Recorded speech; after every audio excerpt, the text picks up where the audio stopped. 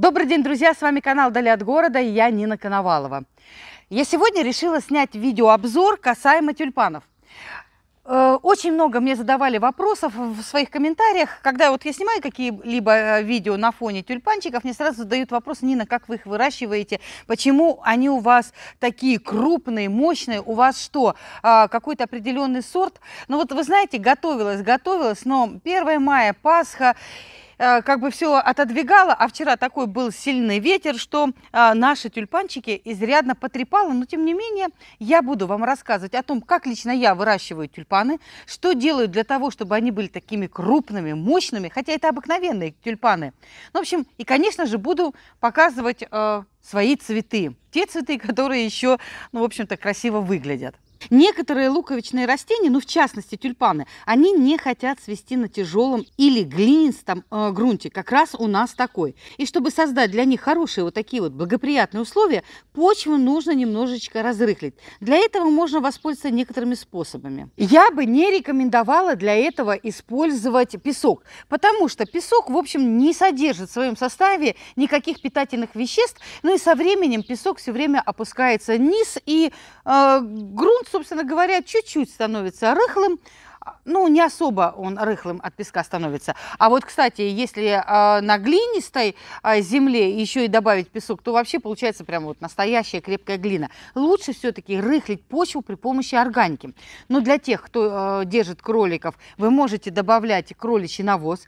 Прекрасная органика. Э, вы знаете, какашки у кроликов кругленькие, и они делают... Э, почву не, не только богатой органикой, но и рыхлой потому что они не сразу, эти, э, их какашечки разрушаются. Ну и для того, чтобы почву обогатить и сделать ее более рыхлой, есть и другая органика. Вообще органика состоит из более крупных частиц, которые в течение длительного времени задерживаются в грунте, и, в общем-то, эта органика и способствует прохождению воздуха. Мы что можем использовать? Конечно же, перегной, перепревшие древесные опилки, ну или, конечно же, созревший компост. Внесите в землю компост или перегной, все тщательно-тщательно перемешайте, а, берите, значит, луковицы тюльпанчиков, донцем вниз кладете и сверху присыпаете землей, и вот только после этого сверху можно присыпать немножечко песочком.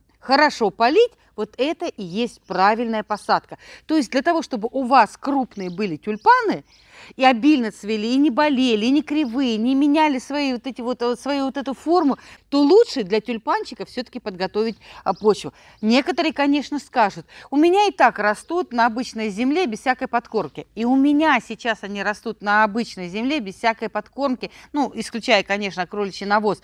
Но не у всех такие крупные тюльпаны, как у меня. Хотя у некоторых моих соседей одни и те же сорта, и они очень сильно отличаются. Идем дальше. Итак, луковицы растений располагаем донцем вниз, и в остальном уход за тюльпанами обычный. Во время цветения тюльпаны закладывают под землей молодые луковицы. И в следующем сезоне именно они дают новые побеги и новые цветы. Поэтому в первую очередь необходимо обрезать бутоны, которые отцвели после полного окончания цветения. Это делается для улучшения созревания и поддержания нужной вот этой концентрации важных элементов питания растений в почве. Ну вот посмотрите, в позапрошлом году на этом месте была посажена одна луковица тюльпана. Вот этих желтых, э, махровых таких, пионовидных.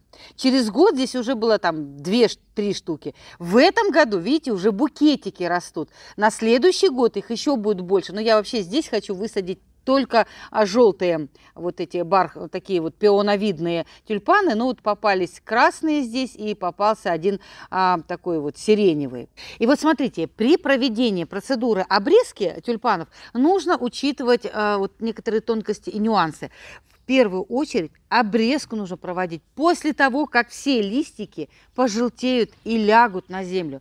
Не так, чтобы вот он отцвел, обрезали, а листики стоят зеленые. Нет, только после того, когда листики все вот, ну, лягут, мертвые будут. И, конечно же, колышками вы можете а, или какими-то обозначениями пометить, где у вас какой куст для того, чтобы выкапывать луковицы. Но это для тех людей, которые каждый год выкапывают, допустим, летом, а осенью рассаживают. Я так не делаю, я выкапываю раз в три года, потому что, ну, мне не нравится тонкая линия, а мне нравится, когда вот букетиками. А, в прошлом году мы выкапывали, в этом выкапывать не будем, и, в общем, на следующий год, наверное, будем выкапывать, потому что уже разрастаются. Поэтому а, мы э, выкапываем раз в три года, а, луковичные.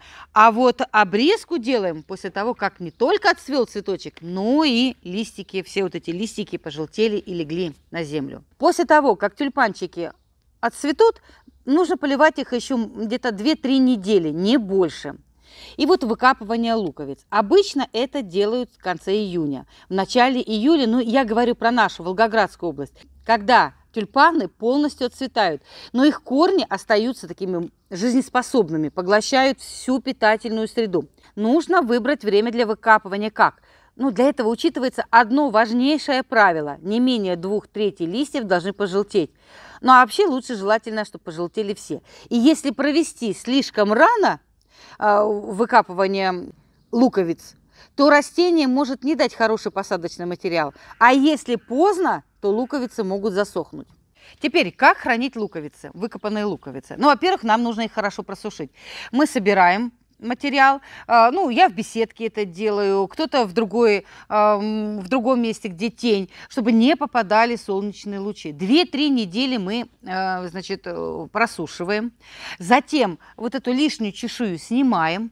И перед хранением можно замочить э, где-то на 2-3 минуты в марганцовке. И опять просушить, и уже потом убирать в прохладное место, в подвал, в гараж, ну где у вас там есть сухое, сухое место. И еще, а, э, луковичные можно разделить по э, размерам. А, мелкие в одну сторону, средние в другую сторону, крупные в третью сторону. Теперь, для того, чтобы сохранить э, сорт посадочного материала луковичных, я, это нужно делать каждый год, выкапывать каждый год. Если вы, вам все равно, вы хотите просто обильное цветение, ну я вам уже сказала, то выкапывать тюльпаны можно один раз в три года. Если ежегодно выкапывать э, луковицы, то сохраняются сортовые особенности этих красивых цветов. Это требование распространяется на все новые сорта вот этой цветочной культуры. Ну а теперь по поводу посадки. Лучше всего проводить процедуру высадки в открытый грунт в первой половине осени. Желательно, чтобы погода была сухая, безветренная и температура была где-то 5-7 градусов, ну можно 10 градусов, но лучше 5-7 градусов. И важно перед посадкой луковицы еще раз обработать слабым раствором марганца. Выбирая участок для посадки тюльпанов, а, отдавайте предпочтение солнечной стороне, потому что там они будут крупные такие, красивые. В теневой стороне тоже будут тюльпаны расти, но они будут мелкие. И еще крупные луковицы мы закапываем на глубину 15 сантиметров, а мелкие на глубине 7 сантиметров. Этого достаточно. Ну, технологию посадки я уже сказала, что лучше, конечно, все-таки а, землю сделать более рыхлой при помощи любой органики. А вот если после высадки наступили заморозки и осадки отсутствуют длительное время, то желательно полить грядки через 2 недели после высадки. По мере понижения температуры участок можно засыпать сухой листвой, опилками либо соломой. Если придерживаться вот этих незаурядных правил посадки и ухода за тюльпанами, то эта процедура будет для вас приятной. Ну а цветы будут радовать обильным цветением и красотой своим цветением.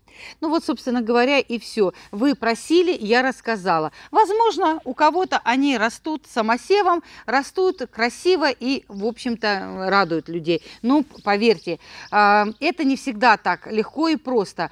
Климат разный в нашей большой стране, погодные условия разные. Ну вот смотрите, еще вчера вы радовались, а, смотрели на мои сюжеты, на мои видео и смотрели, какие огромные, мощные были тюльпаны.